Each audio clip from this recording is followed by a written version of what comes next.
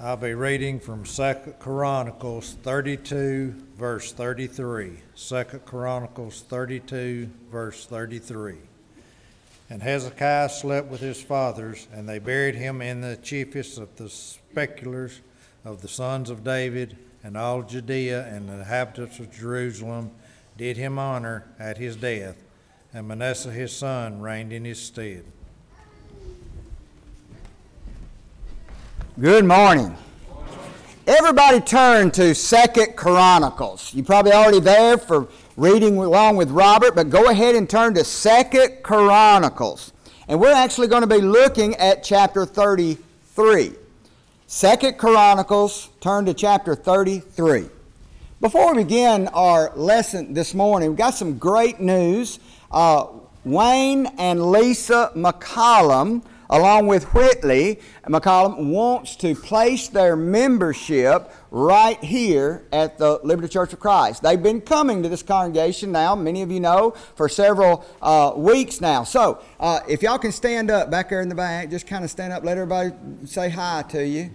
Hello, there's Lisa. Is, is Whitley there? Where's, where's she at? There she is. Uh, okay, there, these are the two. You want to be sure to hug their necks and welcome them. Thank you. You can be seated now. So be sure to come and find them out and, and, and say, Welcome. Now, Wayne's not here. Wayne works uh, on the week. He's a truck driver and he's gone on the road, but he's here every Wednesday night, but he worships uh, on the road. So uh, we want to remember those folks. They want to put their time and their talent and their resources to work right here at this congregation. So you want to welcome them. And of course, the elders will be in touch with you guys, find out what your talents are and what you can do to be involved. Uh, they also have Colton and Cooper. They're right. They're down there somewhere, aren't they? Uh, you just just raise your hand. There's there's there you go right there.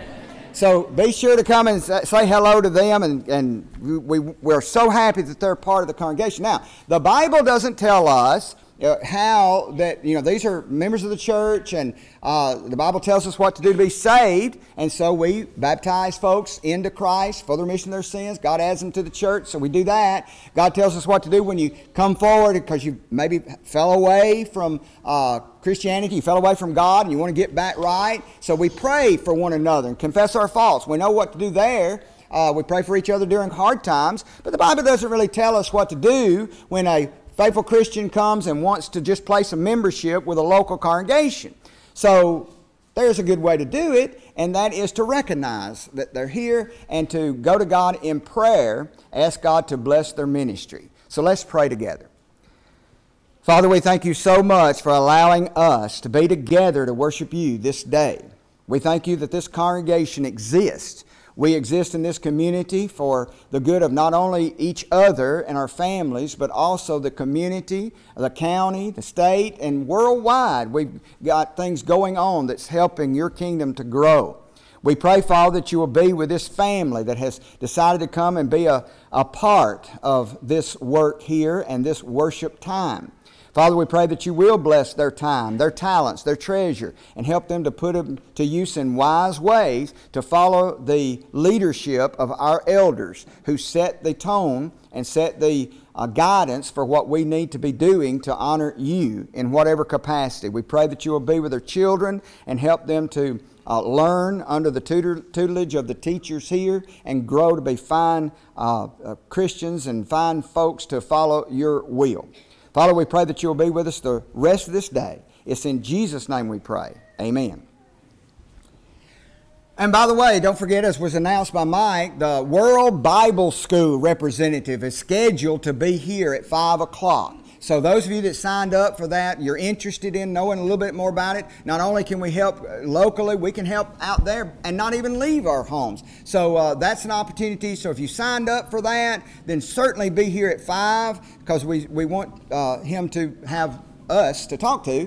But if you didn't sign up and you said, Well, I'm kind of interested in that World Bible School effort, then uh, and you just want to know, it's not like you signed up to do it. Uh, this is a sign up sheet to find out more about it. So even if you didn't sign the sheet, you be here at 5 o'clock. That's just an hour before worship. And for about half an hour or so, he will share with us what that's all about and how we can be study helpers and how we can help uh, spread the gospel locally and abroad. Manasseh Second Chronicles chapter number 33 that was just uh, that we're going to be looking at today. So have your Bibles there. Who in the world is Manasseh and what can we learn from Mr. Manasseh? Well, you recall that the first king of all of Israel was Saul. And after he was put out, King David came in and served as king over the united country.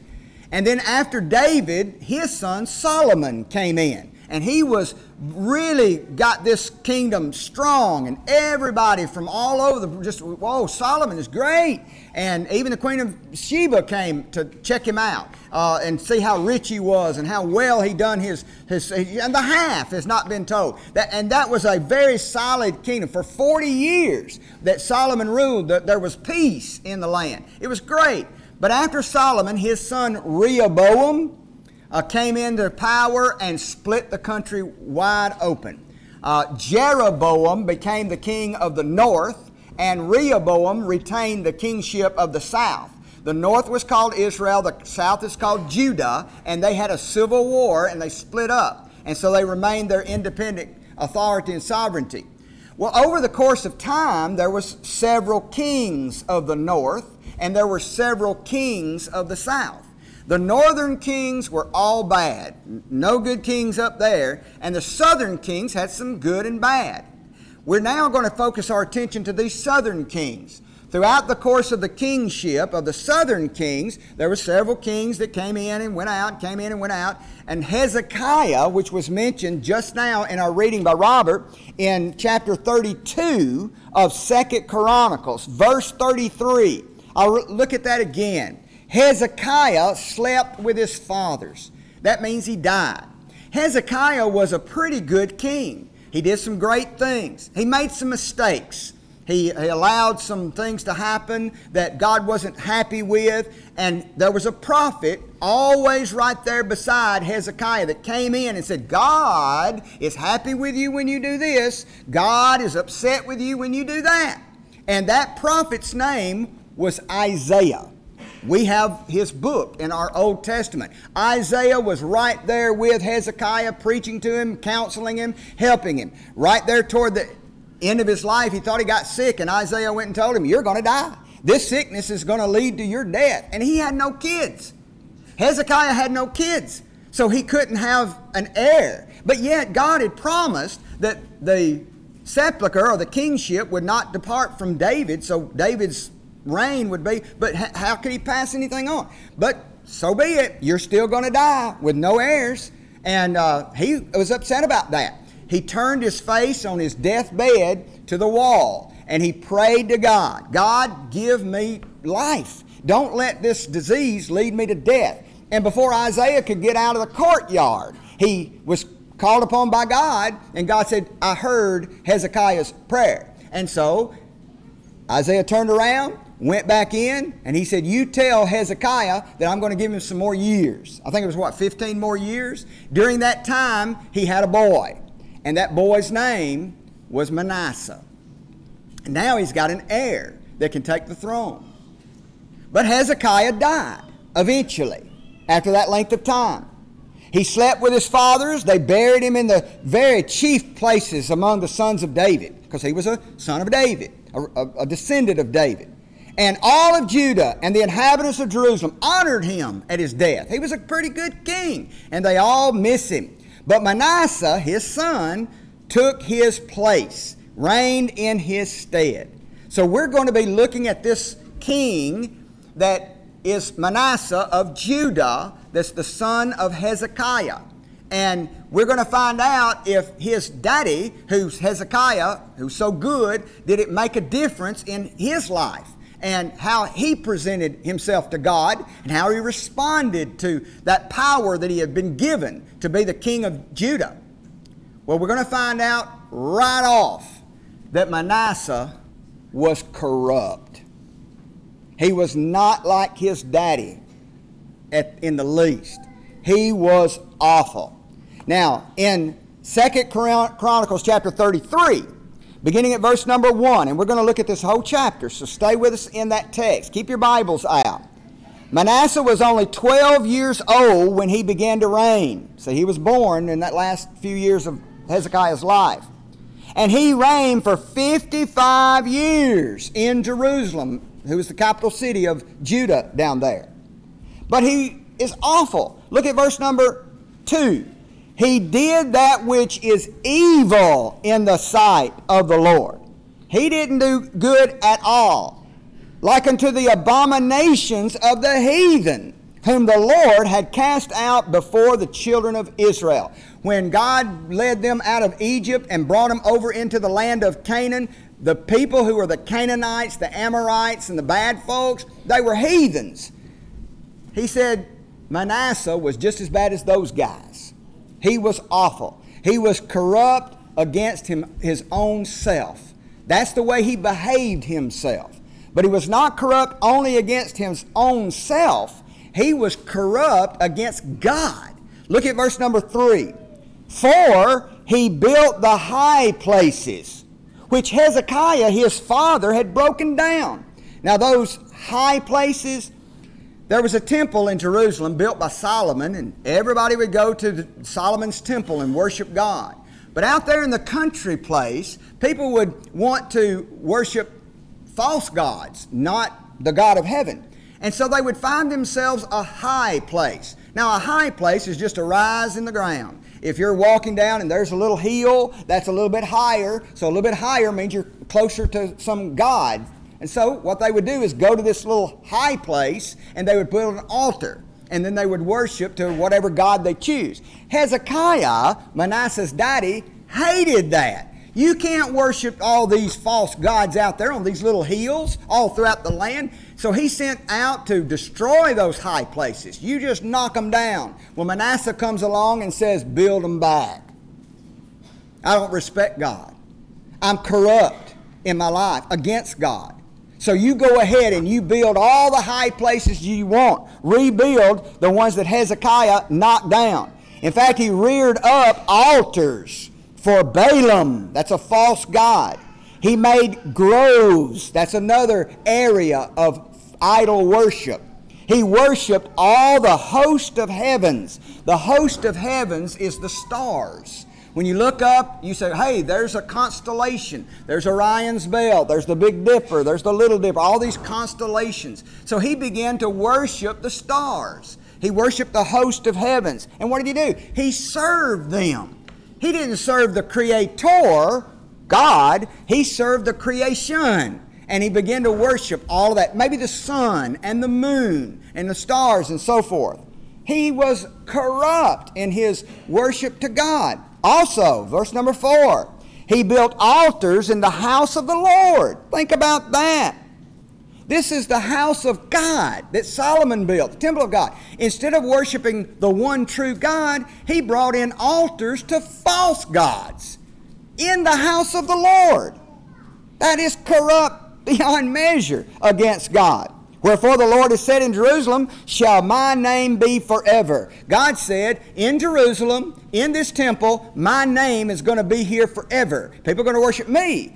But Manasseh could care less. I don't care what you say, God, about worshiping you in the Jerusalem. No, I'm going to bring in false worship in Jerusalem because I don't care about you. In verse number 5, he built altars for the host of heaven, all those stars, in the two courts of the house of the Lord. He had no respect for God at all. False worship going on right in God's house. Verse number 6, he caused his children, listen, to pass through the fire in the valley of the son of Hinnom. The valley of Hinnom is right outside of Jerusalem.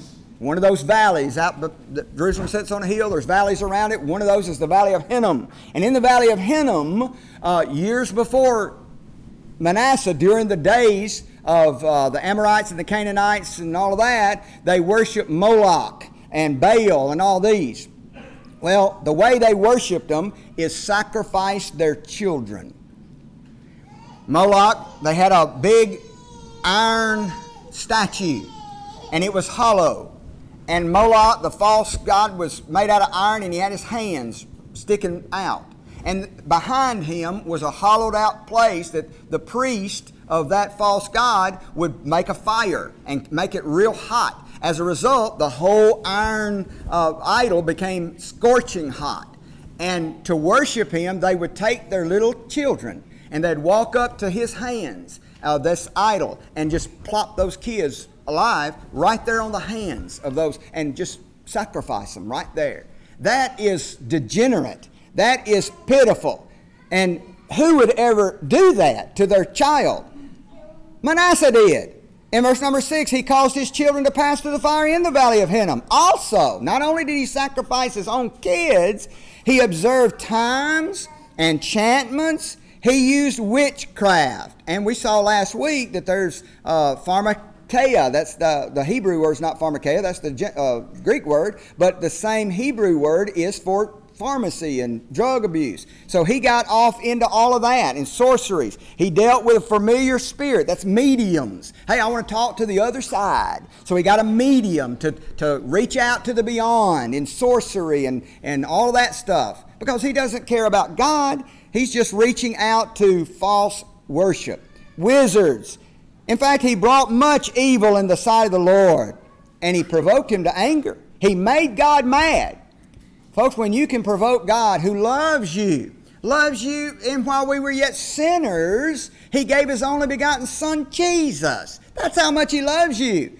But Manasseh was so corrupt, he made God mad.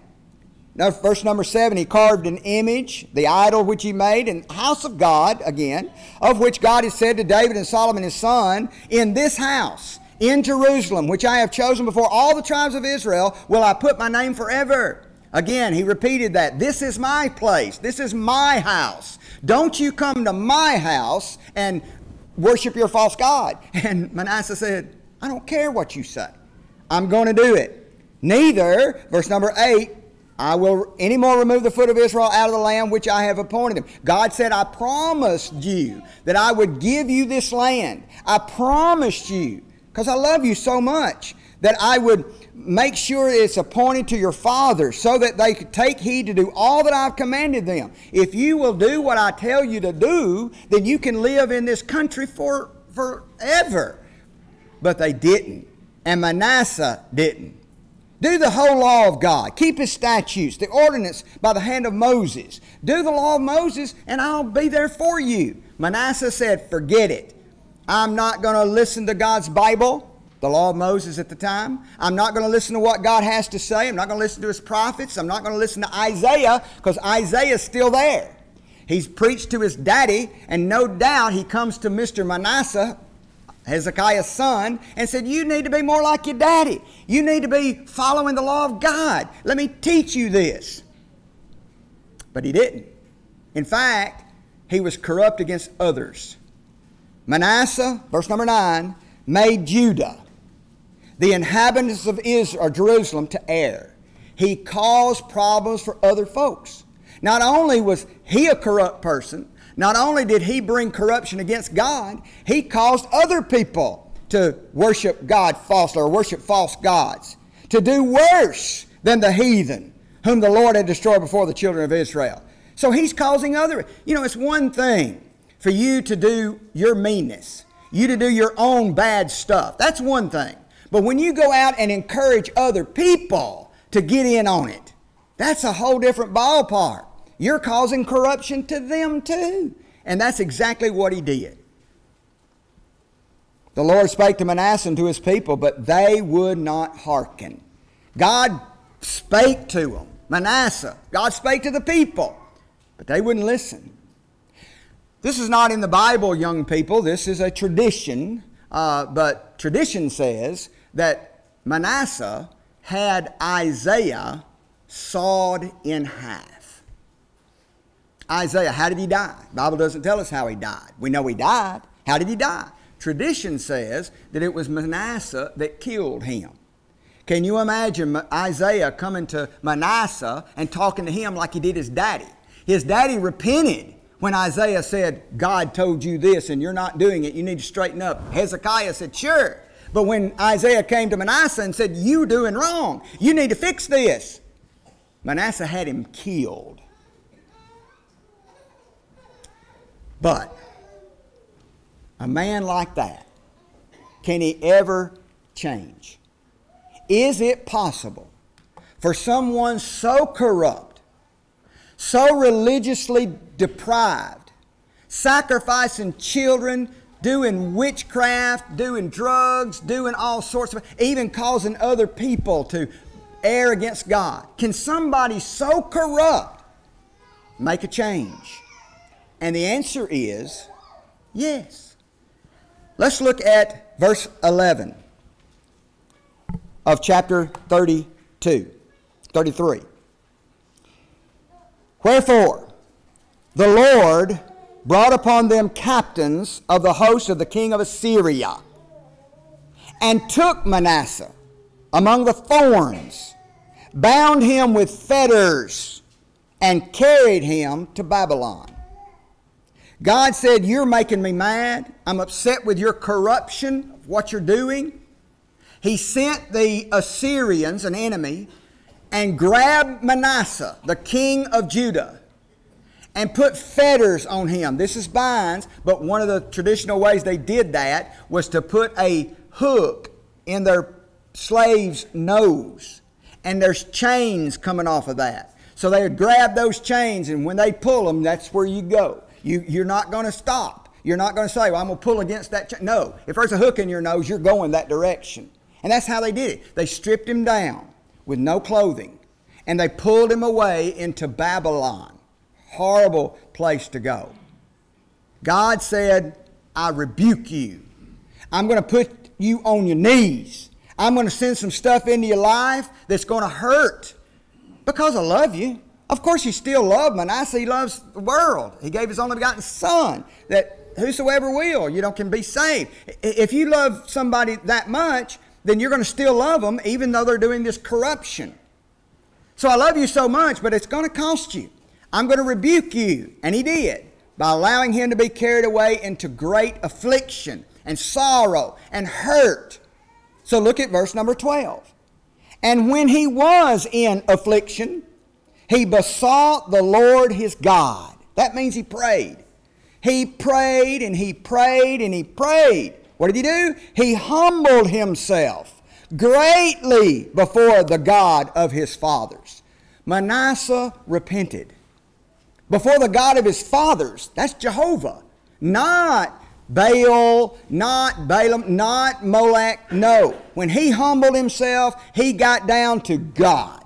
And he said, I humble myself to the true God of heaven, not the stars and the host of the constellation. No, God. And, verse number 13, he prayed unto him. And because of his prayer and his repentance, he was entreated of him. That means God listened. Some people think that they get so far out and they're so far corrupt and they're in such pain and iniquity and affliction that God just won't listen. There's no point in praying. There's no point in studying the Bible. There's no point in trying to get closer to God because He won't listen. Yes, He will. If He will listen to Manasseh, He will listen to David. And so, when he prayed, God listened. He was entreated of him. That means God heard him. He heard his supplication. So, what did he do? He brought him again to Jerusalem, into his kingdom. He put him back on the throne of Judah. Even though he's in that bad place, he put him back on his job. He said, I'm going to give you a second chance. Then Manasseh, having a second chance, knew that the Lord, He was God. Not Orion, not Baal, not, no. I now know because of this experience and because God heard my prayer, because I, I want to change. And He did change. He changed dramatically. Not that He was just sorry for His sin, more than that. He took a 180 degree turn from corruption to change. Look at verse 14. Now, after this, after this experience, what did he do? He built a wall without the city of David, on the outside of the city of David, on the west side of Gihon, in the valley, even to the entering in of the fish gate, and compassed about Ophel, and raised it up very great, very high. That's what he did. And he put captains of war in all the fenced city of Judah. In other words, I now care about Jerusalem. I'm going to protect it. I'm going to put me a wall out there so high, I'm going to put guards out there. This is God's city. This is God's house. And you're going to have to come through me if you're going to destroy God's house. I protect God's house now. Continue on. Verse 15. He took away those strange gods, the idol out of the house of the Lord, the one that he put there, took it out. Keep on going. And the altars that he had built in the mountain of the house of the Lord, that's Jerusalem there, and in Jerusalem, he cast them out of the city. I know I put them there when I was corrupt. And I know I did some bad things. But let me tell you, I'm changing. I'm, I'm going to take what God hates and I'm going to throw it outside the city because I now respect God. I'm going to live for God. I'm going to change. Verse 16, he repaired the altar of the Lord. He fixed it and sacrificed their own peace offerings and thank offerings. Come tonight at 6 o'clock. The title of the lesson during our worship hour is going to be offerings. So that's a teaching that you can be involved in. But continue on. He commanded Judah the, to serve the Lord God of it. I know that I caused y'all to serve false gods. Now I'm king again. I command you to serve the God of heaven. I'm trying to get you back. I know I was so corrupt I hurt you, but I'm calling you back to God now. I'm trying to fix it. I'm changed. Now, if this was the rest end of the story, happy ever after, all's well. And it was with Manasseh. But folks, our sins have consequences. I believe that Manasseh will be in heaven when we get there. I'm not the judge, only God's the judge. I believe Manasseh changed to the point that he just dedicated the rest of his life to God. But that corruption in his past life is certainly going to have a consequence that he can't help. Now, he could dwell on that. He could say, Oh, if only I hadn't have done that. If only I could go back and change it. I do that all the time, and I shouldn't do that. But I can't change it. Be sure your sins will have the consequences of the seed that it plants. Look at verse number 17. Nevertheless, even though he changed, the people did sacrifice still in the high place. Yet they did it to the Lord their God. Now that's good that at least on that hill out yonder, they, they said, okay, this is for you, God, but they were still sacrificing on those high places, places that God didn't authorize to, to be worshiped. So he stained the worship. It really was, it was okay that they worshiped God, but they just did it wrong. They, they didn't do it in the right place, at the right time, in the right way. He stained the worship. That's the consequences of his sin. He not only stained the worship for other folks, he stained his own legacy. You know, it's good that we have a legacy. Uh, you got a good name. A good name is more important than rubies, you know? But when you do something pretty bad, you can stain that legacy. Look at verse 18. Now, the rest of the acts of Manasseh and his prayer unto his God and the words of the seer that spake to him in the name of the Lord God of Israel. Behold, they are written in the books of the kings of Israel. Now we don't have that book. We got First and Second Samuel. We got we got the Chronicles. You know, First Second Chronicles, uh, First Second Kings. We got that history, but we really don't have the kings of Israel. We don't have that book. But here in this Chronicle, said you can read that book if you can get your hands on it. And in that book is the rest of his acts. It's, it's his legacy. It's what he did. And you can also read his prayer there. You know, he did pray. Remember when he was in affliction, he prayed to God? In verse 19, his prayer also, and how God entreated of him. He listened to him. All that's in there. And all his sins are in there too. His trespasses are in there the places wherein he built those high places. That's recorded. He set up those groves and those graven image. That's recorded. before he was humbled. He did that all before he was humbled, before he changed. But it's still in the legacy, it's still in the book. They are written among the sayings of the seers the good stuff and the bad stuff. There is a um, set of writings called the Apocrypha. Young people, that's not part of the Bible. Now, there are some groups that if you open the King James Version, you look, you see some extra books in the Bible. And one of those books is the Prayer of Manasseh. It doesn't belong in the Bible. It's not authorized to be in our Bible. But it's out there. The literature's out there. And it's called the Prayer of Manasseh. I do not believe, young people listen to me, I do not believe that this is the inspired word of God, that this is the actual prayer of Manasseh. I do believe that Second Chronicles is, and he told us that there's a prayer out there somewhere that he prayed. But this would be typical if you find that and read the prayer of Manasseh. I don't think this is necessarily his exact prayer, but this the what's in here would certainly uh, be something that he would have prayed where he humbled himself to God and he said, I, My sins are bad and, and I want to do better and I want to change. Well, that's exactly what he did. He changed, he did better. But even with this beautiful prayer, even with his change and trying to get things right, his legacy was still stained. And he stained his family. Look at verse number 20. So Manasseh slept with his fathers. That means he died. He was buried in his own house, and Amon, his son, became the next king, reigned in his stead. Oh, good. We got a, he's changed. He's a good man now, and he tried to fix his corruption. Now I got my boy sitting on my throne. What's he going to do? Well, in verse number 21, he was 21 years old when he began to reign, Amon was. He reigned for two years in Jerusalem. But he did evil in the sight of the Lord, just like Manasseh, his daddy, did. That corruption stained his family. Amon sacrificed unto all the carved images that Manasseh, his father, had made and served. Manasseh couldn't get it out of his boy. I did it. I, I wished I hadn't, but I've stained my son. And he did.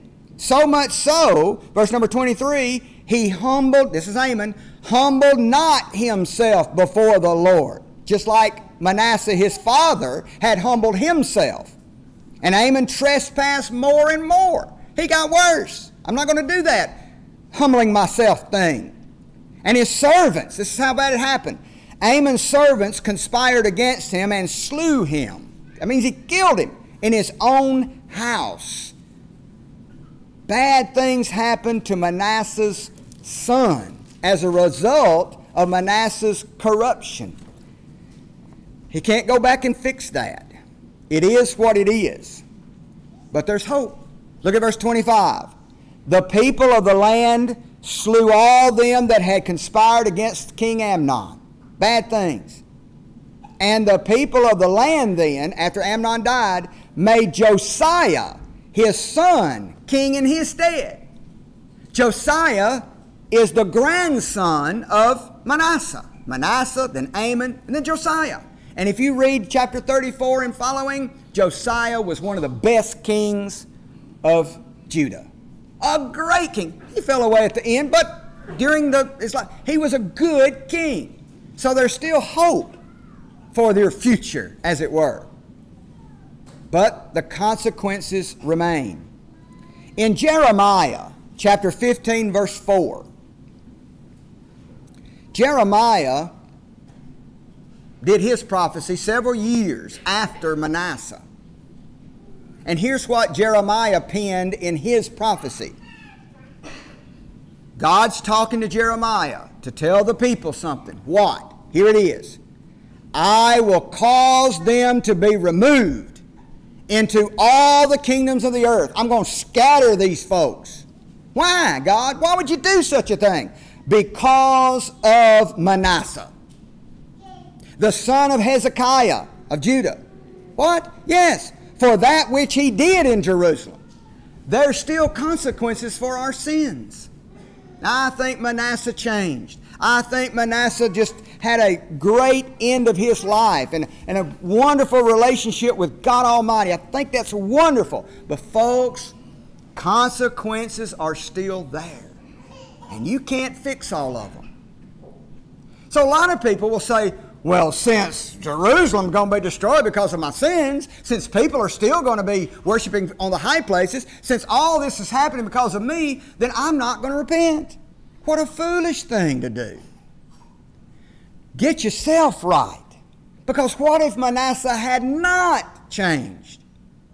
Then how bad would it have been if he continued to do pile up and pile up all those corrupt things in his life? There would have been no positive. Maybe Jos- Josiah, his grandson, wouldn't have had any goodness And I don't know. But here's the point. Don't dwell on because I'm a bad person and there's consequences of my deeds, therefore I'm not going to change. Don't do that. Learn from Manasseh. Change. Do the right thing.